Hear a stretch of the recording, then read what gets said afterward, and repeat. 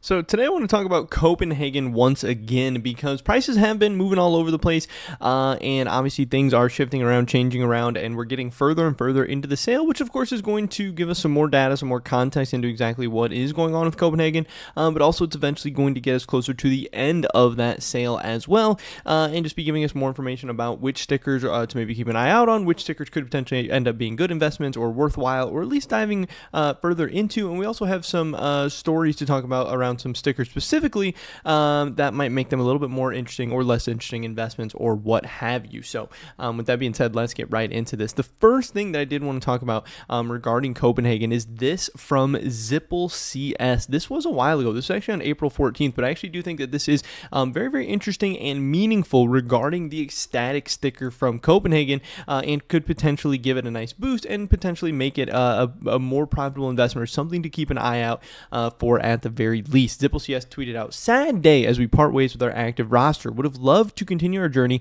but I'm also excited and genuinely happy to see them getting getting this opportunity at Gaimin Gladiator GG. Um, so we'll pull that up and take a look at them. He said, It's been such a pleasure working with them. We've achieved great things, and I'll continue to cheer for you all. Thank you for everything at Salazar, kraghen, Patty, um, Nodios, Queenix, uh, Castle, uh, and then obviously here's some pictures of his team, uh, you know, and the things that they were able to do, qualifying for Copenhagen, and actually having a nice little run at Copenhagen Copenhagen as well, which is a very very cool story um, for you know a guy coming up like Zipple, a content creator, you know trader, guy in the scene, all of that craziness, um, and being able to have such success uh, at, at, owning a team and you know farming the sticker money and all that stuff.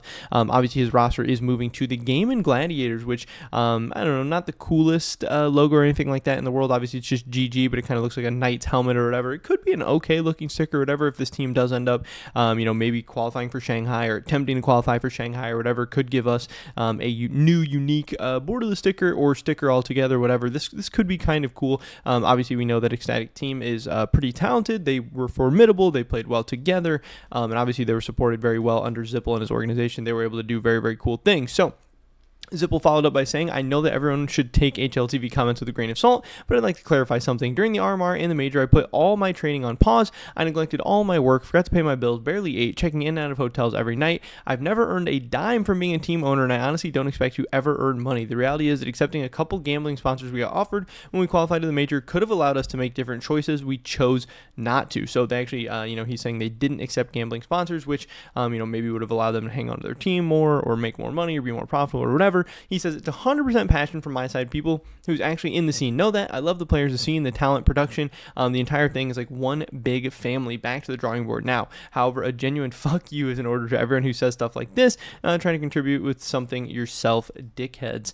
Uh, and, you know, there's some HLTV comments that he highlighted here saying, laugh my ass off. You could not afford to keep promising Danish team under Danish organization. 0% passion for the game, 100% money. I bet he wouldn't even know what CS is if there uh, if it were not for skins. Um, so Zipple sold out. Businessman in the end, you know, saying that hey, uh, he must have sold this roster to the Gaimin Gladiators or whatever, and, and try to make some money there. And obviously, um, I know he says you know he didn't make money or whatever, but they they obviously have uh, sticker and skin money or sticker money coming in and stuff like that. And I don't know if obviously that's all going to get paid out, or if that's going to be overall covering his expenses or whatever. Because obviously we don't even know how much money that's going to be just yet.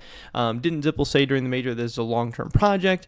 Uh, and Zipple man, only thing on his mind is money, which is uh, obviously some not fair uh, comments and stuff like that. But um, this does mean that Team Ecstatic is going to be getting an entirely new roster if Zipple is going to continue going forward with this or whatever. So obviously that will be uh, making it more difficult for them to have a very, very top and high quality team heading into Shanghai. Now that doesn't mean he can't do it, uh, but again, Shanghai happens, I believe, in December. It is now May 5th, and obviously this stuff was happening at the beginning of April. Um, so the time for him to not only be able to uh, look and acquire, uh, look into and acquire a roster that's going to be strong enough to um, you know come together and play well, but not only qualify for the Shanghai Major. You know that it's not impossible, um, but obviously him losing his team that performed well at Copenhagen and did all the good things they were able to do um, does make it less likely that Ecstatic as an organization and as a sticker will be at Shanghai if Shanghai does end up being borderless. So um, to me, uh, obviously uh, with a major happening in like March or or whenever Copenhagen happened, and then another major happening in uh, December with Shanghai,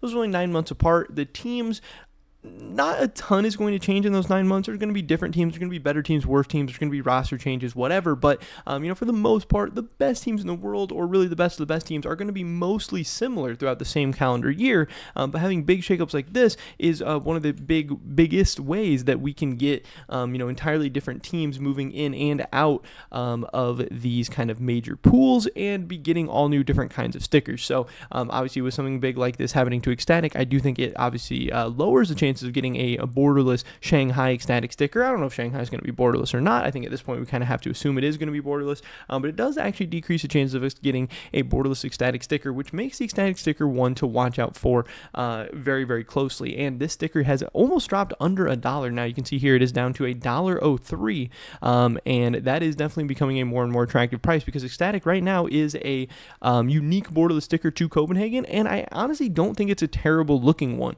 Um, you know, it being a lightning bolt, I think gives it a ton of actual craftability. You know, I've seen stuff like um, using the Ecstatic logo on like the Olympus, the new Zeus skin or whatever. Um, but obviously, there's going to be tons of opportunities. I'm sure there's a lot of cool like dragon skins you can put lightning bolts with and stuff. And um, there's a different, a ton of different uh, interesting, um, you know, use cases you can get for a yellow lightning bolt. There's a ton of yellow stickers in Copenhagen, and it's kind of over yellow and has a yellow issue. But um, having a yellow lightning bolt shouldn't really ever be too big of a problem but this is definitely um, one sticker that I'm going to be keeping an eye on a little bit closely, a little bit more closely than before. You know, this thing was 265. It has dropped down. Um, we are now kind of at its all-time lows. And again, as the sale goes on, uh, especially until we get kind of closer to the end of the expected expected end of the sale or whatever, which we'll dive more into in another video about when we think those dates and times are going to happen and all that.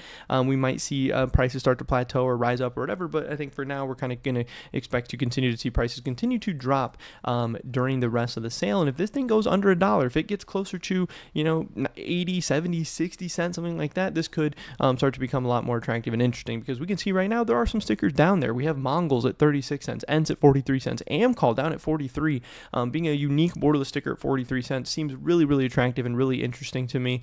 Um, I did want to look at AMKAL. I don't know if it's at its all-time lows or anything like that just yet, but again, being around that 40, 30, 20 cent mark, you know, if AMKAL ever gets in that range um, where it's down to like 30, 35, 29, 27 cents. Um, it's going to be really hard to like at least not keep an eye on that. Um, and then again, we have Legacy, another uh, unique borderless sticker to Copenhagen, being at a dollar six. So um, keep an eye on those three borderless unique stickers. 43 uh, dollar 03 and a dollar 06 is going to be very very interesting to me. Definitely something I'm keeping a close eye on. Getting into the second page, we have a couple stickers that I'm not as interested in uh, for a couple different reasons. I know Saw, um, if this ever loads, obviously the uh, Steam Community Market doesn't really, uh, you know, kind of loads when it wants to. But um, we do have Saw here at $1.70, which is crazy. This has been such a big drop off. This thing was like four, five, six dollars at some points. Um, but the thing about Saw, they are very, they're still pretty high up in the HLTV rankings. I believe they're um, kind of 19th in the world right now. I don't know if this shows everything. I was trying to get um, just all the teams to like uh, pop up and stuff. But um, Saw is still a, a, team that is intact and, and uh, looking pretty good, and, and, a team that is going to be more likely to qualify than Shanghai than something like Ecstatic or something like that. Um, the Saw sticker again is a cool one. It's a nice little triangle sticker. It can be used as an A in some different crafts and stuff like that.